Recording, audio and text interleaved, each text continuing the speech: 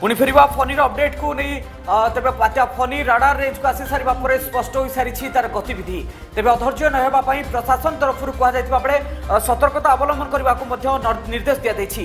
ପ୍ରବଳ ବର୍ଷା ସାଙ୍ଗକୁ ଜୋରରେ ପବନ ବହିବାର ସମ୍ଭାବନା ଥିବାରୁ ଏସବୁ ଅଞ୍ଚଳରେ ସମସ୍ତ ପ୍ରକାରର ମାଟି ଘର ସହିତ ପୁରୁଣା ପକ୍କା ଘର କ୍ଷତିଗ୍ରସ୍ତ ହୋଇପାରେ। ସେହିପରି ରାସ୍ତାଘାଟ କ୍ଷତିଗ୍ରସ୍ତ ମଧ୍ୟ ହେବ। ଗଛ ବିଦ୍ୟୁତ ଖୁଣ୍ଟ ଉପୁଡ଼ି ଯିବାର ସମ୍ଭାବନା ଥିବାରୁ ଅନେକ ସ୍ଥାନରେ ଯୋଗାଯୋଗ ବିଚ୍ଛିନ୍ନ ହୋଇପାରେ। ଫସଲ ନଷ୍ଟ ହେବ ଏବଂ ତାଳ ଓ ନଡ଼ିଆ ଗଛ ଉପୁଡ଼ି ଯିବାର ଯଥେଷ୍ଟ ସମ୍ଭାବନା ରହିଛି। ତେବେ ରେଳପଥ ଗୁଡ଼ିକ ମଧ୍ୟ ନଷ୍ଟ ହୋଇପାରେ ବୋଲି ସୂଚନା ମିଳିଛି। ଆଉ ଏସବୁକୁ ଦୃଷ୍ଟିରେ ରଖି ମାଟି ଘରେ ନ ରହିବାକୁ ପରାମର୍ଶ ଦେଇଛନ୍ତି ପାଣିପାଗ ବିଭାଗ। ଉପକୂଳରେ ତଳିଆ ଅଞ୍ଚଳରେ ବସବାସ କରୁଥିବା ଲୋକମାନଙ୍କୁ ବାତ୍ୟା ଆଶ୍ରୟସ୍ଥଳକୁ ନେଇ ଆସିବାକୁ ବ୍ୟବସ୍ଥା ମଧ୍ୟ ହୋଇଛି। ଫନି ଦ୍ୱାରା ପ୍ରଭାବିତ ହେବାକୁ ଥିବା ଅଞ୍ଚଳରେ ଯେଉଁମାନେ ଅ, ଯୋଉ ପକ୍କା ଘର ରହିଛି ବା ଯେଉଁମାନଙ୍କର ପକ୍କା ଘର ରହିଛି ସେମାନଙ୍କୁ ଘର ଭିତରେ ରହିବାକୁ ପରାମର୍ଶ ଦିଆଯାଇଛି।